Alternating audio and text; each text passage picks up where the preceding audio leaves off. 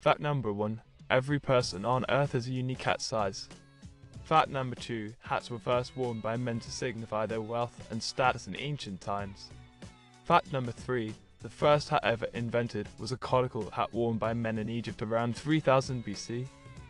If you like our content, please don't forget to like and subscribe. Fact number 4 In 1675, King Charles Roman II of England made it illegal to appear in public without a hat. Fact number five. The most expensive hat ever sold was a gold bejeweled turban which sold for £10 sterling, 5 pence a million at the Christie's.